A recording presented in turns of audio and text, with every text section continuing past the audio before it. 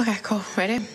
It's so strange actually having to kind of watch myself make under instead of make over for dates because usually I'm sitting stressing out trying to make myself look nicer for somebody that I'm going on a date with. To then just take it all off and reveal the most rawest version of yourself. Oh no. Oh, see, it's a massive difference already just without the lashes. You're about to see every flaw I have. You can sometimes just be so mean to yourself without even the nasty comments from other people.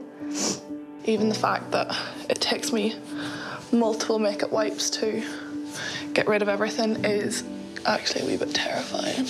And in a world that is so judgmental and from people that go on Instagram every day, that go through social media judging people for how they look. And you can still be so critical of your own self. I don't think people realise just how much of a confidence boost makeup actually gives. I know people think it's very superficial, but it's not about anyone else. We don't do it for other people. We do it for ourselves. And do you know what? When I'm nervous and shy, I go red.